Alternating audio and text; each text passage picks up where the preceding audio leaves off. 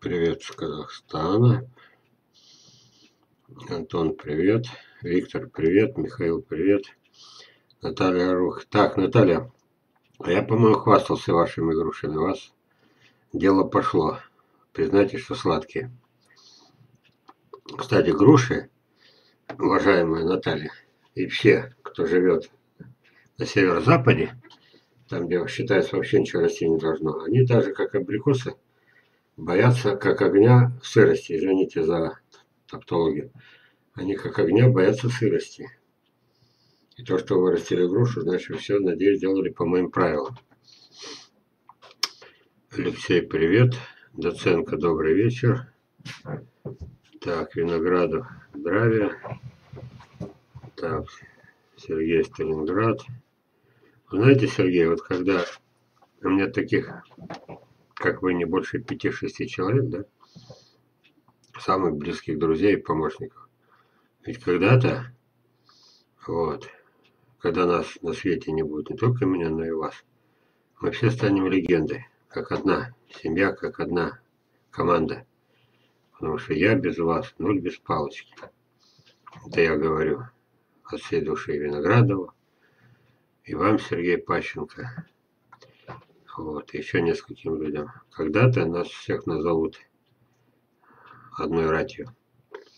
Вот. Привет, Беларуси, привет, Роман. Самара, привет. Нина, вы живете рядом с этим, с э, виноградом, а у него уже мое растет, и не только мое. Москва, Елена Городничин, Лободенко, Ну, вот как раз про Гинка. Людмила Обуховская. Прочитайте. Ну-ка, ну-ка. Гинка белоба растет в дендрар-саду имени Шредера, Москва и Ботсаду, Питер рядом с теплотрассой. Гинка очень пластична. Так, Людмила, откуда вы все знаете? Что сказать? Мне приятно, что у меня такие соратники. Так. Вологда, привет, Иркутск. Сделал прививку вашего королевского абрикоса на сеянец, косточку брала у друзей.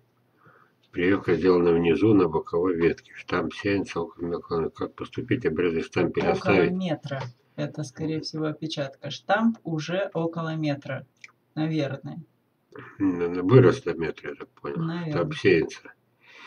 Вот, и прививка на боковой ветке. Я ничего сказать не могу, пока я не увижу фотографии, причем не одну, со всех сторон, сверху, снизу. Извините, я ничего сказать не могу. Обновленный каталог черенков будет. Да, я об этом начал говорить, но, по-моему, не закончил. Весь ноябрь обещает тепло, халтуры не будет, пока дождусь минусовой температуры. И тогда специально предупреждать, ну, может быть, несколько человек, которым обещал, специально вышел каталог. А так, ну, куда вы денетесь? Сами найдетесь. Но это может быть, обычно это середина ноября. Черенки мелбы будут? Нет, не будут. Вот. Черенков мелбы не будет. Так, по мнению Боднера Заилийская, лучший поздний сорт, как вы считаете? Да, между прочим, это я, вы, наверное, это узнали от меня. Боднер, я, есть вещи, которые я запоминаю намертво. Посещение Боднера. Он называет десяток сортов. И говорит, вот они у меня такие яблони растут. В том числе заилийская. Он говорит моими, это я цитирую с э, этого, его там 15-20-летней давности. 20-летней давности Боднера. Заилийское это зимнее яблоко, и оно э, хранится в погребе до весны, его слова, и пока заилийская не съест вся семья, к остальным зимним не подступаются. Вот. Ну, потом оно выросло уже, это самое, я не знаю, от меня, не от меня, у Чернобаева. Он считает, да, да, одно из лучших, тоже считает. Вот. Ну, а мне после пожара теперь только облизываться приходится. Я не все восстановил, потому что первый пожар был в 2005, а второй, который уничтожил все, что я по-новому успел там привить, там восстанавливали дички, Вот. Здесь под низу полезли. Я давай их прививать. Через три года дожгли его до конца. Вот. И получается, Заилийского у меня нету. Вот, так что доставать, ну, спрошу у Чернобаева, будет, может, срежет десяток черенков. А, сейчас он же мне продиктовал. Сейчас скажу. Вы все-таки ждете от меня реальных слов. Так, бифер китайку. А, вот, заилиска есть у него. Хотя бы десяток найдет. 10-20 найдет. Бифер китайку он мне нарежет. У меня есть два его дерева бифер китайки. Вот, но я придерживаюсь такого принципа. Это, как хотите называть. Черенок стоит 150 рублей, но я предпочитаю вам продать черенок из сада Чернобаева, а свой все-таки не трогать. Вокруг бушует рак. Вот, я у себя режу, только когда совсем подступает это, как называется, нужда, что ли. Представьте себе, нужда у человека, который зарабатывает не меньше миллиона в год. Так бывает. Так, формел и лимонка. Лимонка яблоня скромная, но он так был удивлен, представляете, взял, э, там несколько сортов принес на выставку, там было строгое жюри, там его так внимательно все распробовали. Лимонка заняла второе место, ему вручили набор э, столовой посуды или, или столовых ножей. Вот. вот. С тех пор он зауважал, я зауважал. Вот. Ну, я, конечно, считаю, что Квинти имел бы это лучше. Лимонка, она немножко лимонка. Но, тем не менее, второе место на это и сотен. Так что, кто, кто, кому повезет, тому кто закажет. Так, из этих, э, он мне продиктовал по телефону рыжие, но это разновидность воины. Вот, но он считает, что на слаще. Ну, так считает, и он специалист с, с Казахстана. Так, Филиппио позднего суперсорт, бай суперсорт, вот, скороплод, это, а, и дальше груши пошли, скороплод, а, нет, а, скороплодная Мичурина, Скороспелка. Вот. Скороспелка Мичурина и Ефимова. А у меня, кстати, ни скороспелки, ни Ефимова. Единичное плодоношение не в счет.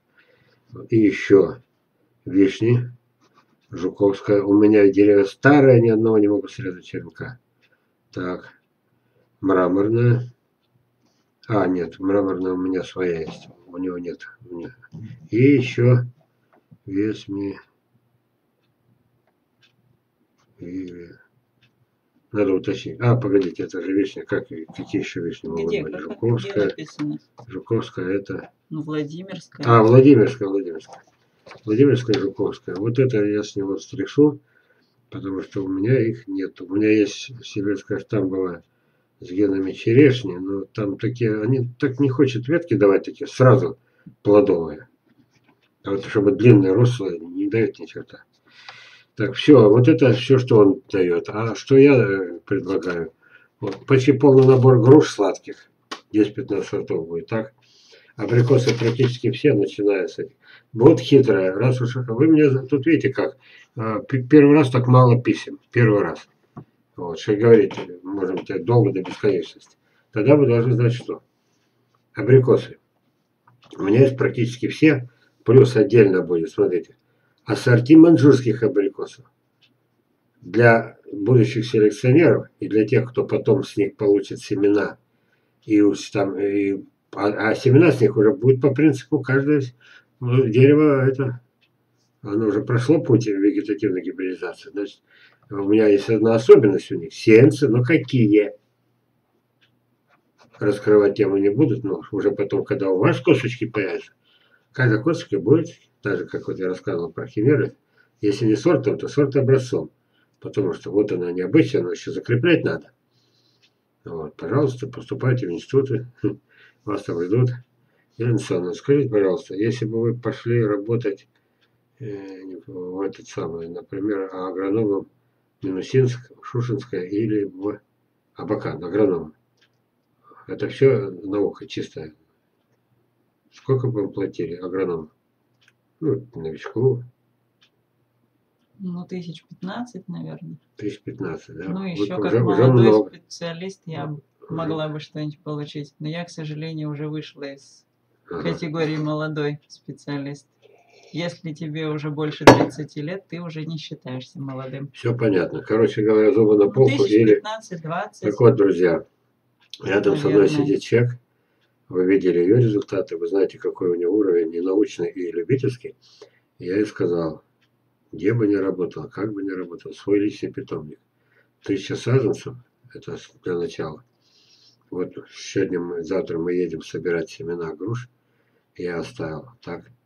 В холодильнике для нее лежат семена этих сибирок, то есть в виде плодиков, диких э, ранеток, так, потом специально именно подвоенные китайки красносиние, тоже для вас, не пожалею, так.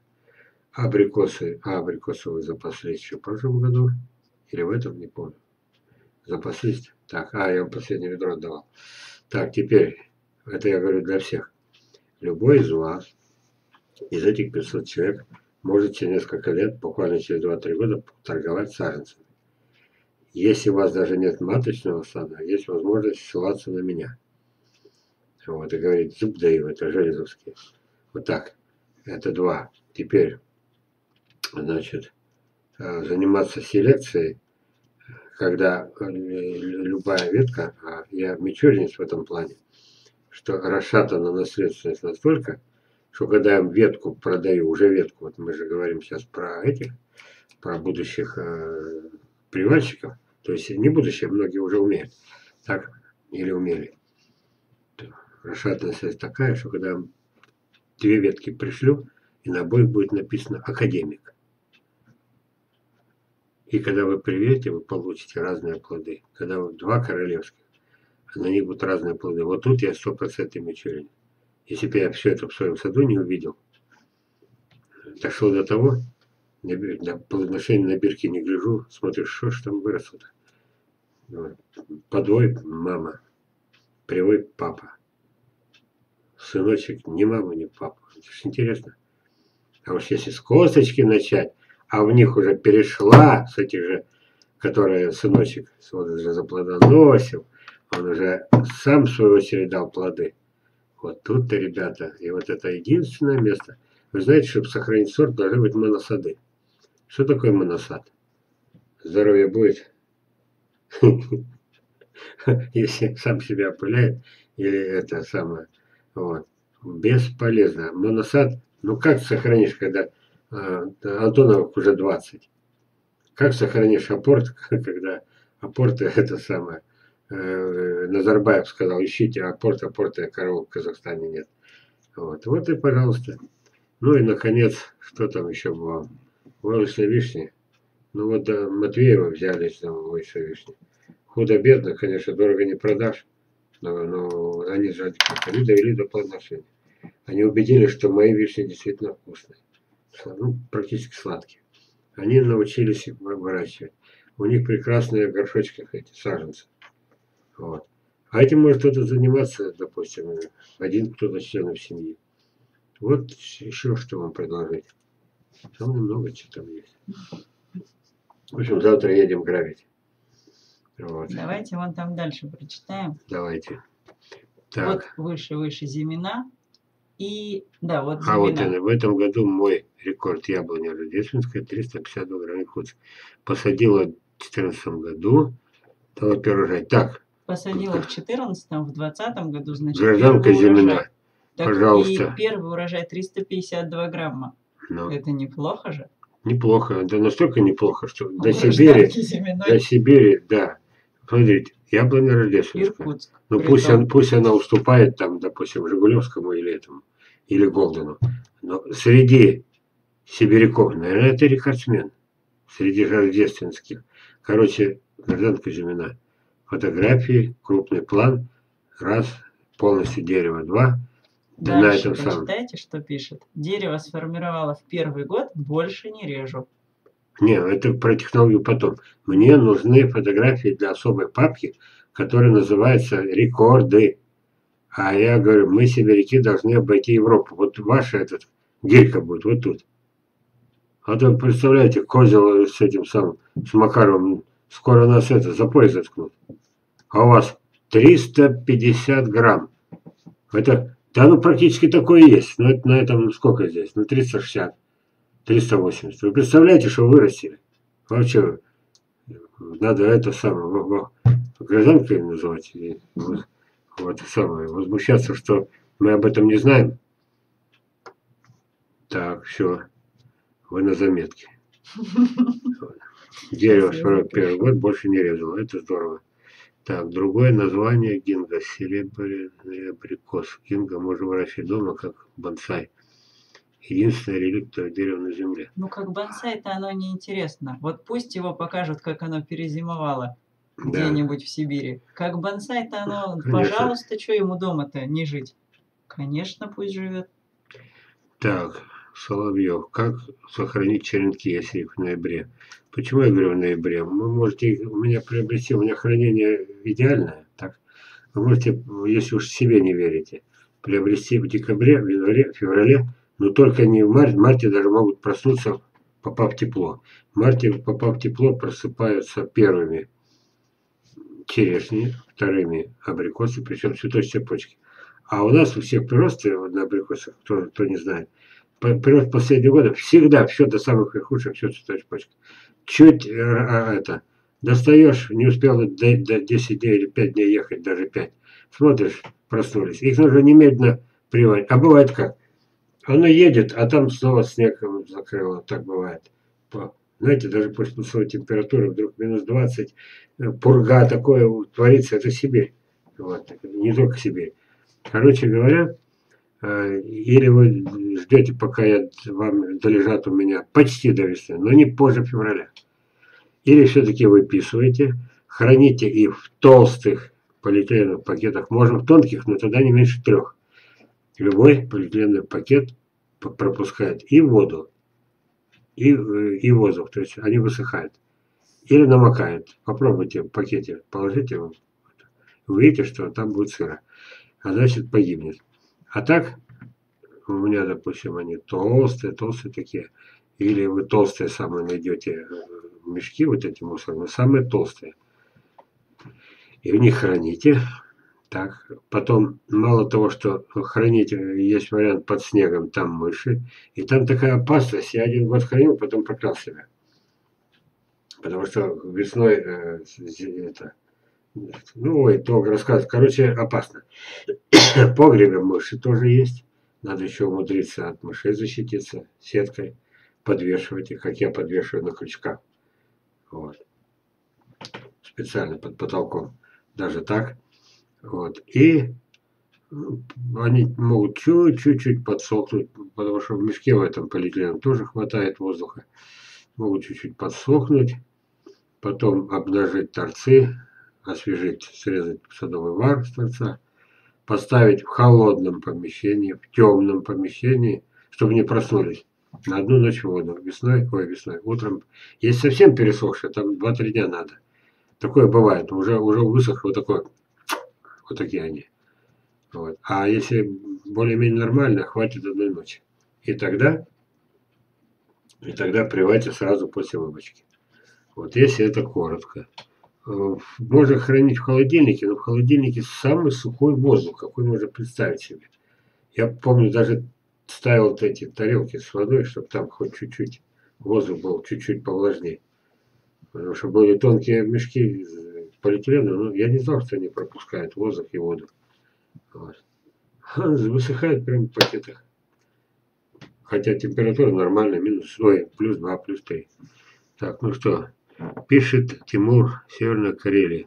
У, Карелия, Карелия, мне лучше Сибири. Но я бы в Карелии сад вырастил. Ну, повозиться бы пришлось. Так, подождем, что Тимур напишет. Время у нас достаточно. Вот. Время достаточно.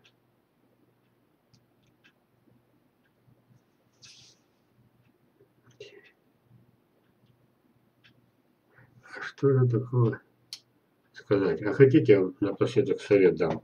Я не всегда ему следовал, но жить стало легче, когда я ему последовал.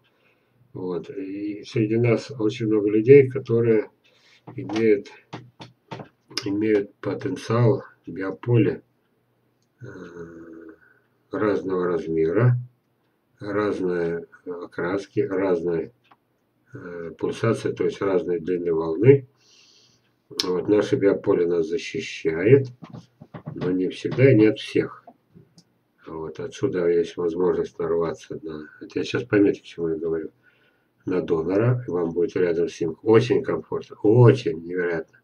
Можно нарваться, наоборот, на этого самого, как их зовут, который кровь пьют. Вампир. На вампира, но вампира именно тоже, то есть не, не кровь, которая пьет, а ваша. Энергетический. Да. Вот. Самая опасная работа у массажистов, они вот сейчас мои знакомые один за другим, вот относительно молодые уходят из жизни, они не знают этого. А я знаю. И теперь единственная возможность уберечься, то есть комфортно живите с такими людьми. Некомфортно не живите, но имейте в виду, образ жизни самый главный. Всегда со всеми быть абсолютно приветливым, даже с тем, кто вольно-невольно наступил на мозоль. Вот. Не желать смерти, не желать э, там, про, про, не проклинать, потому что есть люди настолько опасны, что это самое, что замахнуться этим самым, каким, какой-нибудь этой спичкой, спичечной палочкой на как двухметрового гиганта, образно говоря. Вот. Самое главное, чтобы ваш адрес не было никаких проклятий в этой жизни. От счастья проклятия вы не спасетесь никогда. Вы будете болеть 30, 40, 50 лет. У вас будет рак, у вас будет это, все что угодно. Вот. У вас будет нарушена психика. Вы даже не будете не знать. Только потому, что из 100 человек, которые вы живете, одного случайно задели, а его проклятие для вас стало, если не смертельным, то таким болезненным. Вот. И именно раньше всех поняли это японцы. Вот это вот их образ жизни, вот такой их постоянная э, внешняя благожелательность, отсюда и срок жизни – мы всегда будем умирать 50-60 лет, только потому, что мы не научились прощать, мы не научились э, э, желать искреннего здоровья. Вот. И насколько меньше было бы даже врагов, если вдруг оказалось, что вы первые сделали шаг. Вот. Чтобы не было, как в том анекдоте, это самое, что ты, подруга, не, это, ненавидишь ее. Я не помню, но я все равно не прощу. Вот. вот это я хотел сказать. Благожелательную обстановку вокруг создадите, дольше проживете. Бывает нелегко улыбаться сквозь зубы. Ну, еще уже тогда совсем уж процессами. Болит голова. Вот. Улыбайтесь, пройдет. Заболела голова, постарайтесь через силу улыбаться. Хотя вот так. Увидите, что будет. Так, теперь Тимур. Правильно я понял, что можно заказать, оплатить, а вы их можете отправить позже. Нет, почти так. Боюсь позже сделать заказ. Дело в том, что я живу одним днем. Я никого не, не, не это, не третирую, я никого не пугаю, я никого не зашугиваю. Я говорю так, сегодня заплатили, высылаю сразу. Если у меня нет возможности, я деньги не беру. Вполне возможно, что я боюсь того, что я, возможно, взяв деньги, никогда вы не получите ни денег обратно, ни темку. Все бывает. Поэтому это мой принцип. Да, за это время другие разберут, потому что, ну что он мне это сказал, это самый, э, Чернобаев, вот его список, да, ну мой это побольше будет. Этих 10, этих 5, этих 20. Конечно, после Нового года будет уже, груш будет много, абрикосов будет много. Слив практически не будет, персиков будет много. Видите как, то персиков почти не было, зато слив море. Я сливы, вот спрашивает меня Ленса, да откуда я их возьму-то? Я их угробил своими руками. А угробил, потому что деньги нужны. Мне, чтобы помогать людям, миллиона не хватает. Я что могу сделать? Стыдно завтра будет глаза. Я ни одну собаку не, не отпустил без куска мяса. Подходит чужая, любая, виляет хвостом. Я не могу, мне стыдно. Вот, тут же ближайший магазин. Но это так образно, не значит, что это все должны всех собак кормить, тогда их будет столько, что они нас съедят. Я просто хочу сказать, что э, все э, получается так. Надо просто набраться терпения так, и ждать середины ноября. Первые 23 человек я обеспечу полностью, может быть, кроме слив. А так практически полностью. Вот, а там уже кто будет опоздал, тут, конечно, будет локти кусать, но это уже декабрьские будут, январские. Ну что, все, наверное? Ну, последний еще. А, термин «зона рискованных заявлений» придуман кем-то в нашей бывшей советской стране с целью оправдать невежество. Совершенно верно. И нигде не применяется. Нет, зо, нет зона рискованных заявлений есть. Это вся страна у нас. Ну, посмотрите, я... Он например, пишет, и нигде более в мире не применяется. Ну, оно пусть не применяется, но знаешь, что он неправильный термин? Он совершенно правильный. Он совершенно. Один год удал сверхурожай зерновых, да? Половина сгнивает. И на элеваторе, и до элеватора, так? Вот. Нет таких мощностей, нет этого самого. Он сгнивает. Вот она рискованно. А другой год у нас что? Какая В курсе нет? Снегом накрыло опять. Все зерновые накрыло снегом. Я знаю, у нас тоже. Ну, что, надо молить Бога, что ли, что это? Чуть раньше бы собрали. А кого сейчас? А до этого были дожди. Выехать в поле нельзя было. Потом дожди кончились, можно было выехать, снег выпал. Чем не рискованное земледелие? Вот оно и есть. Все правильно, а в других местах. Мы самая северная в мире страна, посмотрите на карту. За нами Ледовитый океан и полюс. Мы и есть самый северный. Если есть Норвегия, Швеция, Финляндия, они тоже забрались за, за полярный круг, залезли. Так у них же Гольфстрим греет. Ко мне с Мончегорска приехал в командировку, когда я работал на микровом заводе. И от него узнал. Также Мончегор, также за полярье. 10, 15, 10. Как за полярье? А вот так. Это потом я начал разбираться, откуда ветры дуют. Так, ну что, разобрались зоны рисков земледелия. Вот. А это с целью оправдать, да, этим можно всегда оправдать. Но у меня не каждый год бывает урожай. Но дело-то в том, что как у меня было. Да, деревья не искалечены, но убила заморозками урожай. Ну как урожай? Ну, большую часть. Но есть же поздние сорта, есть ранние сорта. Значит, все равно остался с абрикосами. Раз. Значит, есть э, в, этот год, посмотрите, что получилось. Никогда не было такого. И Чернобаев хорошо зарабатывал. А тут 5, 10, 20 где-то. И все, весь список это. Вот. А почему? Константинович, ты представляешь, беда-то какая. Такой урожай прироста не дали. Опять беда. Ну, пришлось ему эти груши тащить 15 тысяч заработал на рынке. Но он бы, наверное, как бы больше бы заработал меня, являясь моим этим с, с, как, сооб, сооб, сообщником. Вот так, друзья. Так, ну что, вопросов больше нет. Я собираюсь с вами прощаться. Здесь есть каталог семян. Я что интересно, да, на второй день от силы 1-2. Вопросы зададут. 1-2 от силы могут даже заказать.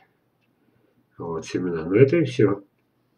Мы держимся на тем, что сейчас ждем тоже зимы. Нам надо зарабатывать хотя бы на черенках. Садоводство как шагреневая кожа.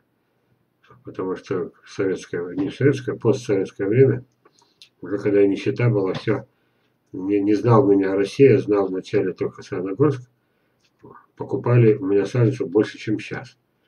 Вот, потом хуже, хуже, хуже. Знает вся Россия, можно выслать и саженцы, и черенки, и косточки, а все хуже и хуже. Желающих мало. Вот. А, а виноваты знаете кто? Рынок забитый. Зачем напрягаться? 170 рублей. А это получается по бутылке водки, да? Ну, Две бутылки пива. А тут саженец. Вот. И значит, что? главное, что это не прекращающийся бизнес. В этом году посадили, на следующий год умерли. В следующем году опять купили. Конечно. 170 рублей-то не, не жалко. На следующий год замерзло, опять купили. Да мне обидно другое, что руки опустили всех, кто раньше этим занимался. Старики ушли на тот свет. Я их уже считал штуками, извините, пальцами, а сейчас уже с десятками, сотнями. Все поколение. У меня какое-то адреса, телефоны, все. Вот вспомнил, вспомнил все это. Сколько общения было. Все.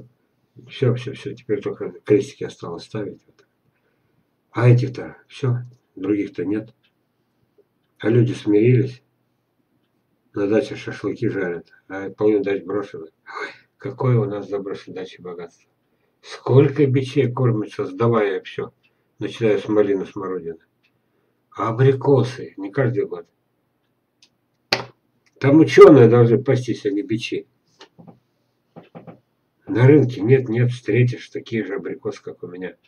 Ну, правда, практически уже перестали, раньше это было.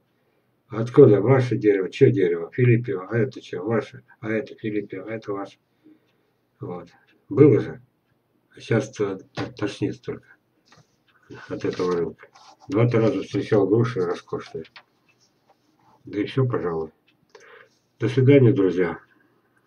До свидания, всего доброго. Теперь ждем следующего понедельника. Меньше нас не становится, больше не становится. Вот, также просьба, может, все-таки будете рассылать мои эти ролики по разным этим. Там, где учат людей убивать деревья. Переломить надо. Все, спокойной ночи. Я отключаюсь, как называется, трансляцию.